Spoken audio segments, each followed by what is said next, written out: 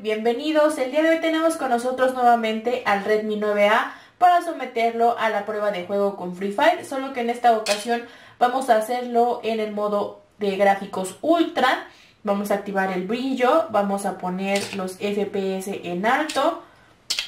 Asimismo vamos a activar las sombras y vamos a poner la alta resolución.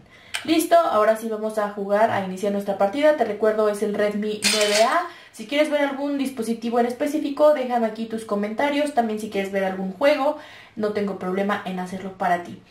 Los invito a que se suscriben y a que me dejen su like en este video, compartan en sus redes sociales. Nos vemos en el próximo video. Besotes.